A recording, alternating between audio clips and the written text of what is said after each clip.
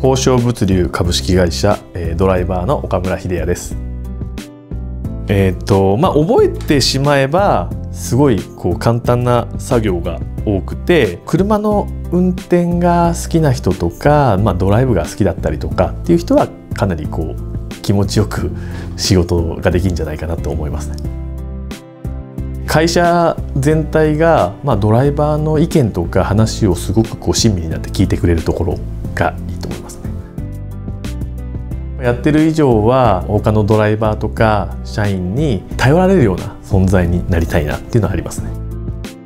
運送業とかってあのやはり大変なイメージがすごいあると思うんですけど、まあ、今はあまりそういうこともなくて本当に覚えてしまえば誰でもできるような仕事が多いのであのぜひ来ていただければ嬉しいなと思います。宝生物流株式会社高村康之と申しますドライバーやっておりますスーパーマーケットの、まあ、食品の配送なんですが、まあ、1日3店舗から4店舗食品を、まあ、指定の店舗に、えー、納品するっていうのが1日の仕事の流れです。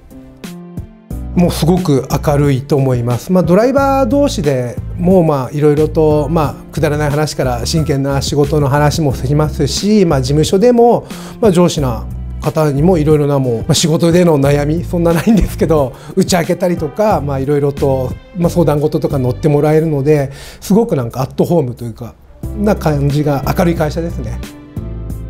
とても明るい会社なので一緒に仕事できたらいいなと思います。以上です。宝生物流株式会社松本と申します。青果市場を中心に日配の食品雑貨良品などの配送を行っておりますえーと、各配送先には、えー、弊社の車両が、えー、何台も運行を行っております初めてそちらに行く方でも、えー、必ず弊社の仲間が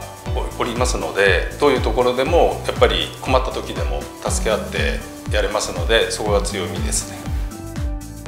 えーと、20代から60代までの、えー、幅広い年齢層の方に、えー、今、えー、活躍していただいてもらってます、えー、いろいろな業種から転籍されてこられた方もいらっしゃいますので、えー、ぜひあの弊社で一緒に働きませんか。よろしくお願いします。